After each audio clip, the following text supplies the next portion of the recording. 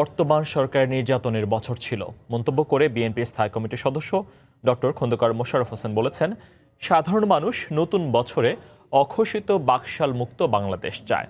বিকেলে নয়াপল্টনে দলের কেন্দ্রীয় কার্যালয়ের সামনে জাসাস আয়োজিত প্রতিবাদ সমাবেশ ও সাংস্কৃতিক অনুষ্ঠানে কথা বলেন তিনি। আমরা গত বছরটি গেল আমাদের গণতন্ত্র হারানোর বছর। গত বছর নির্যাতনের বছর ছিল। এই নূতন বছরে সাগর রুনি তনু এবং নুসরাতদের মতো আর কেউ এইভাবে অপমৃত্যুর শিকার হবে না। আমরা চাই নূতন বছরে যে বর্তমানে যে অঘোষিত বাকশাল চলছে, এই বছরে আমরা তার থেকে মুক্তি চাই। পহেলা